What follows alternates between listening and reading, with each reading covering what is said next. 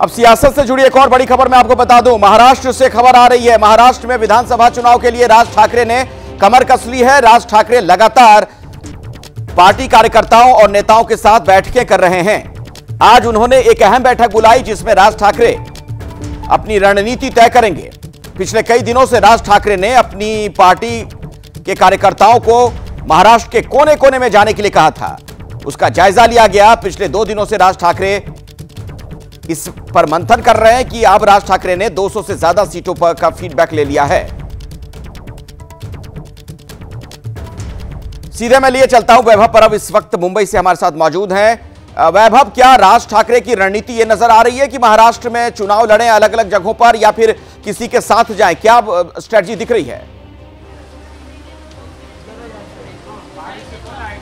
जी, अखिलेश, देखा जाए तो पिछले दो दिनों से जैसे राज ठाकरे जायजा ले रहे हैं, उस प्रकार से तो ये बात साफ़ दिख रही है कि राज ठाकरे अपने दम पर, मन से स्वबल पर लड़ाई लड़नी चाहती है। उस हिसाब से उन्होंने अभी तक 288 सीटों का जायजा पूरी तरह से लिया है। 2009 की बात करें तो उनके 13 विधायक चुन के आए थे, पर उसके बाद 2014 और 2019 में सिर्फ़ एक एक विधायक चुन के आया था। तो इस बार की रणनीति ये होगी कि लोकसभा चुनाव में एनडीए को समर्थन देने वाले राज ठाकरे अब विधानसभा में क्या करेंगे इस पर सबकी नज़र बनी हुई है। हमारे साथ मनसे के नेता है जो राज ठाकरे के करीबी है उनसे जान लेते हैं।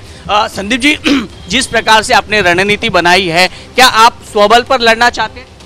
देखिए ऐसा है फ़िलहाल तो हम अ, अ, जो हमारी बैठक हुई थी कल परसों राज साहब ने पूरे 288 सीटों का जायजा उसमें लिया कि उन सीटों पे क्या पोजीशन है, पार्टी के पिछले बार कितने वोट थे और कौन संभव्य उम्मीदवार हो सकते हैं वहाँ पे।